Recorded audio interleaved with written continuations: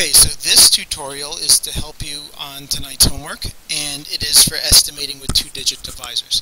So the first thing I'm going to do is I'm going to look at my problem. I have 1,569 divided by 17. So I'm going to come down I'm going to put my division signs, and I'm going to put my equal signs because I'm going to do two estimates, a high estimate and a low estimate. Um, next I'm going to look at my divisor and in this case my divisor is 17. So I'm going to estimate that number first. And I'm going to say that 17 is about 20 because 20 is a nice easy number to use. That is near 17 and I'm going to put those in where my divisors go in my estimates. Um, so when I look at this, I look at uh, this number in 20 and that means I'm really going to be using um, my two my set of two times tables to help me with this. Um, and I'm going to say that, so over on the side I'm going to write 1 times 2 is 2, 2 times 2 is 4, 3 times 2 is 6, and I'm going to write my list of 2 times tables down the side just so that I can refer to them.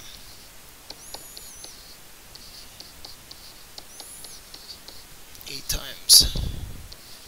16.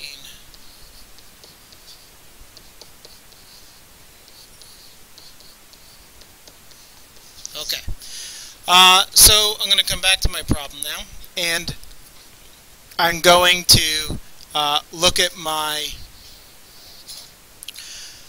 my dividend now. And I'm specifically going to look at those first two digits in my dividend. So um, 15 um, is not a multiple of um, 2.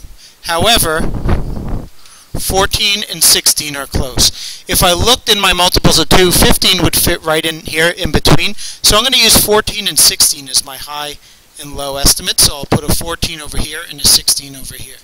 Now, because in this uh, number, in my dividend, 1,569, I use 1, 2, 3, 4 digits, I need to make uh, my dividend over here four digits also, so I'm going to fill in zeros.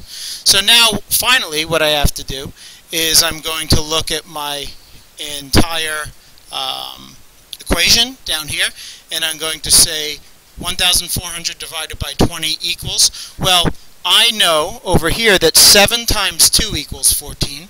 Therefore, 7 times 20 equals 140. Therefore, 70 times 20 equals 1,400.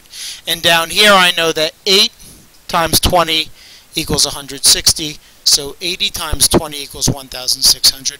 So here are my estimates. I hope that this helps you with your homework.